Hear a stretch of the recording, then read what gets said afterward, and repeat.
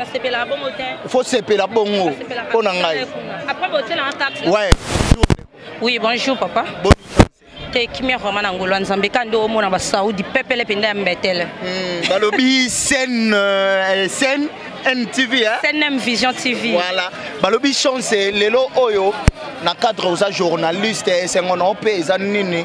na makambo eza koleka lelo mpo na arrive ya général defao mona yo ekozala nini na chaîne na biso fleur monde tv en tout cas napesi nanu fleur monde tv ebela basalamu losako kaka nde biso bana bangala tolobaka losako biso kozwami elo ebela bambote en tout cas eloko na kooloba kaka naza vraiment na esengo makasi na arrive mpenza ya musicien na biso defa botaka balook donc na kati suki mpo na kanda vraiment esengo te me kanda taka vie na biso abeti 22 ans banda voilà. akoma kongo te akoma akini te lelo vie na biso defa o baicone mm. aonyata mabele en tout cas esengo makasi yango naoyebisa bandeko na biso mosusu ya bamusicien bozala elongo bozala uni donc mosapi moko to eh, misapi mibale sokola elongi te misapi 5 nde sokola elongi voilà. maintenant soki botiki oyo ezakeno grand prêtre musicien defa o botiki ye mopanzi boyebi kena oza icone lobi mpe tourno ekoya bakobloke o quelque part des fois otango aza na kati ya congo aoluka adefendre mpe mpo na yo ata kena artiste musicien oyo nakoki kolobaka yango wana oui merci beaucoup ouais, fidèle omi internaute c'est par ici que euh, nakolinga bomona biso nanu ndenge toza kozwa motuka signe papa griffe euh, oyo oh, toza kopesa ye merci mingi papa griffe vraiment organisation ezali vraiment ya kolenda tokokenda sikoyo mpo na komata nanu na mutuka tomonana nanu na aéroport et puis tokoyeba kaka kosolola kuna merci jereka defort asilisi deja bamakambo na ye nde lelo vraimen na malele azozonga na mboka na ye rien à dire boyeboyeboye oh, ezali descendant valable ya papa griffe sapere d'état cara de la cara de la salle oyo ya congo c'est papa griffe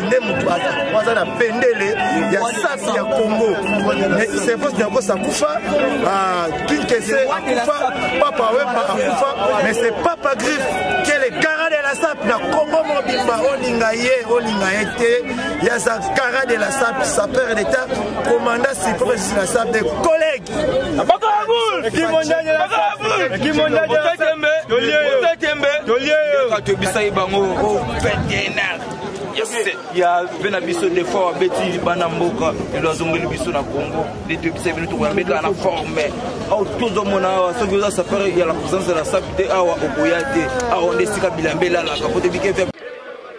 bonjour tata bonjour kaka journaliste mm, nazomona o kaka oza kopumbwe olati makasi yango eza nini lelo oyo soki olati yango ezalaka bongo mm. donc lelo eza journée oyo général defao azoya na, ma, na mboka na ye do na mabele na ye do tosepeli ndenge azongi vivant parce que bavie bavie bokul bazonga ya kokufa bavie king bazonga ya kokufa mais avie defao ayeb na bomoi yango moi toye koyambe na esengo boye piese ebetami bayoji eza awa donc ngambo eza etant que présence de la sape ya papa griffe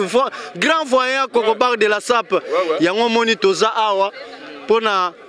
kosepelisa vie na biso général defao ouais. ayeba ke tozalaki na susi na ye mais programme ya général defao balobaki akokita déjà na ngonga nini na aéroport bon général azokita awa na 13h 13h 14h mm. général déjà azokita Hmm. Général déjà azokita. Arrivé na eza confirmé. Arrivé na eza confirmé, eza confirmé, pesa moi retard. Pas banda obongisa ba valise à forme. Hmm. Via zokita na cortège à forme donc ngambo ezali hmm. yango moni toye na match yango tobetaka match biso na vie na biso donc eza nango 0-0 voilà merci beaucoup oza mpe yo moko te namoni mpe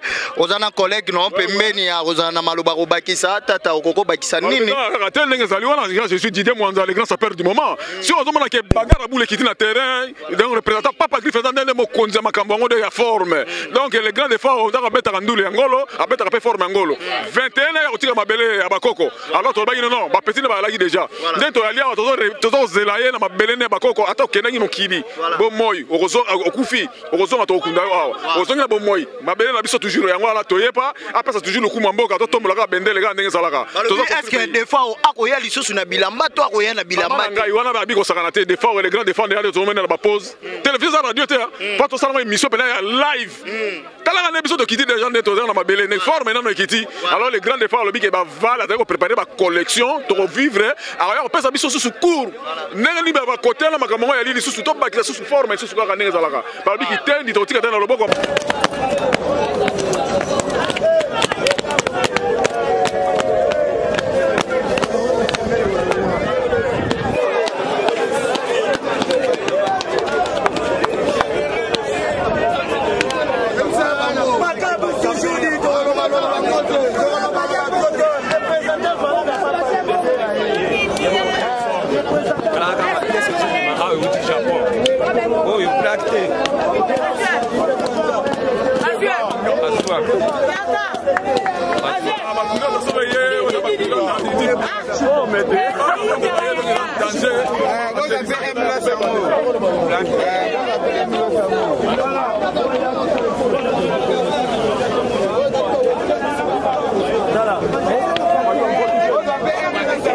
nde bino oyebeli masolo yango biso ebena général defao aye kisasa ngai sisi manto na ye te ewa azoyoka da makeye na ngai libanda me nayebisi yo nakoloba nie epa na ye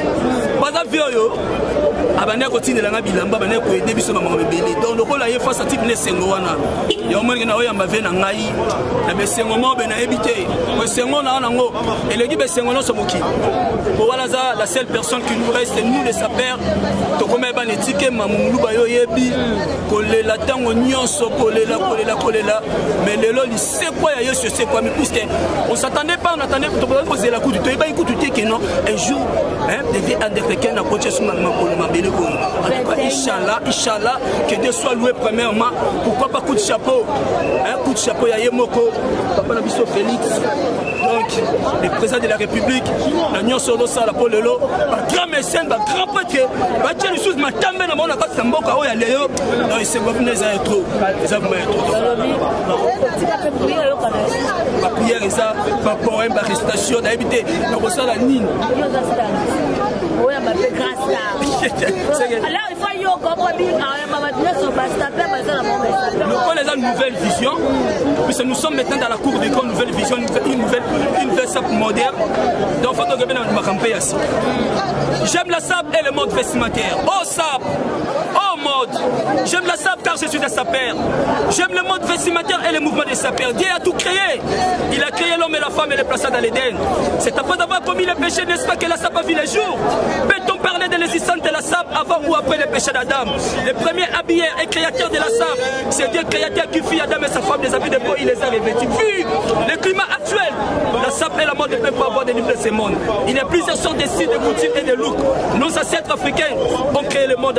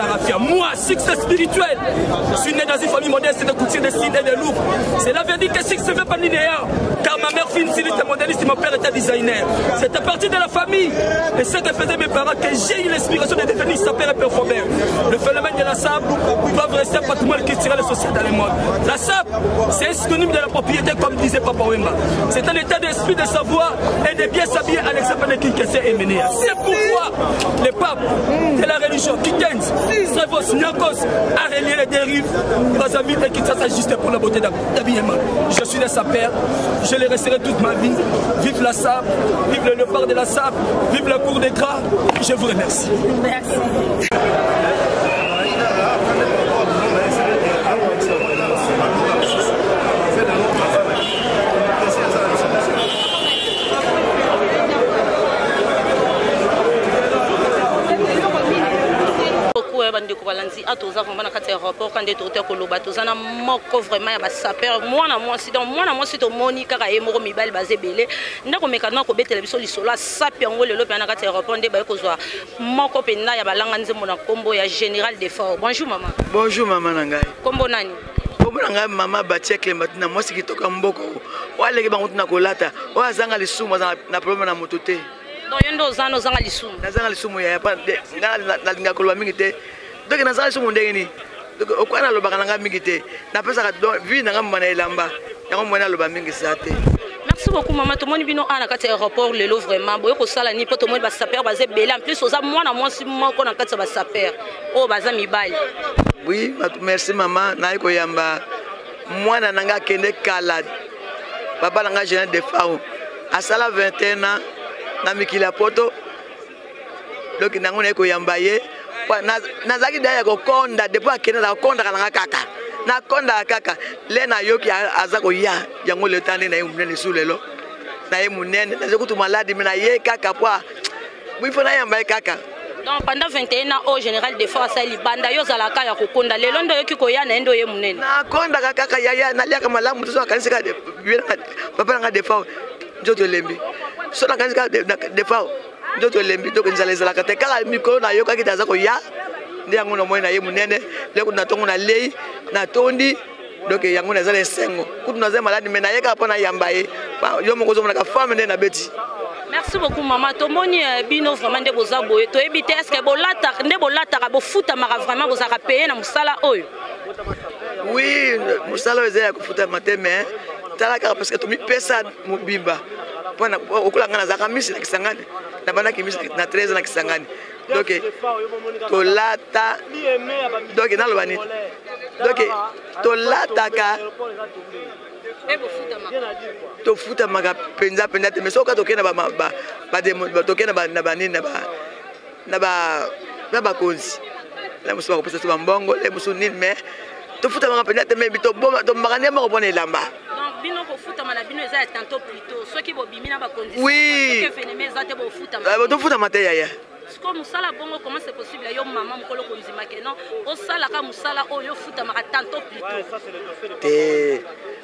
obe eloko nasi na mesana na yango de bomwana nakotika ndenge nini ese nakozala so nazala salite nakende olata oka nafuta maka te nakende ozwa lama mabe nalata nakoka esu te yaya mpo nalataka kaka le premier le 30 nalataka le premier le 30 au janvier au décembre nalataka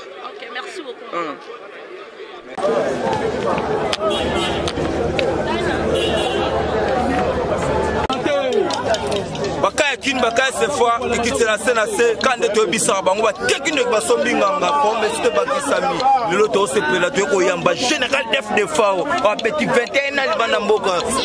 lelo aterissage kala mingi te komona ndeka makambo telemaki aza moto ya pièce toyambi ye mpe kala pièce zwa dege alligateur na se militio na mai insécurité ministre ya sécurité na mai bambisi baokangama desordre omona dega makambo chacha songisongi yango olobaka biso tolataka sanko banga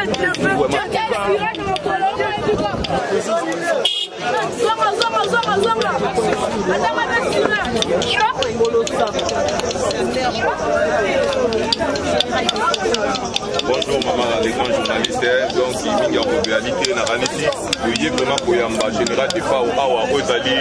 présence de la sap bagara boule moi je m'appelle chiken sianga senti rouge deuxième dage esiki mabe na mama fao meme mamba bilamba tolobela yango mingi te mais toye koyamba mpenza donc général de fao nayebi te okosepelesanga zwa na bor baro ofokola mosafe bokula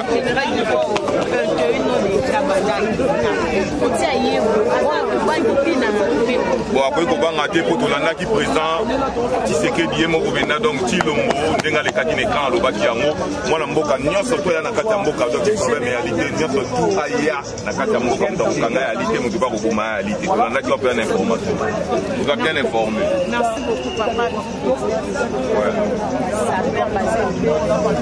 ntango tobandi yango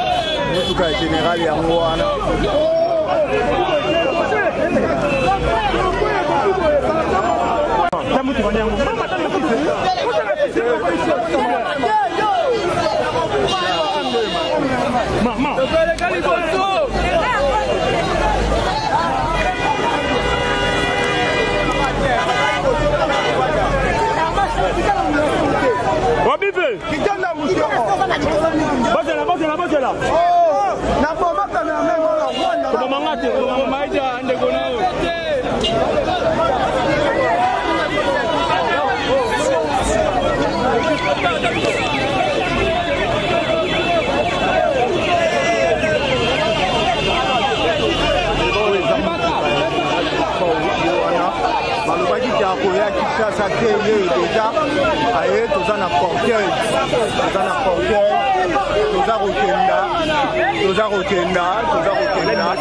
general depa oyeyo esi akomi kinshasa ye akomi na kinshasa deja general depa oyo deja akomi na kinshasa tokokenda tokokenda tobimi deja na aéroport toza kokenda motuka ya general yango wana